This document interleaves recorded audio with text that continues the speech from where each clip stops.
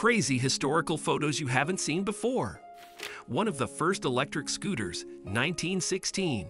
Winter fishing on the Ural River, 1893. 17 year old girl named Bianca Pissarg in a cat costume walking on wine bottles, 1958.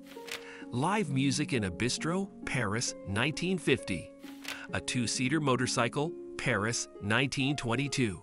Marie Curie in her Paris laboratory, 1910.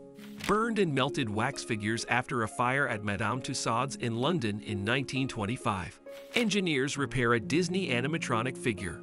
Girl Myrtle Corbin, born in 1868 with a double pelvis and four legs.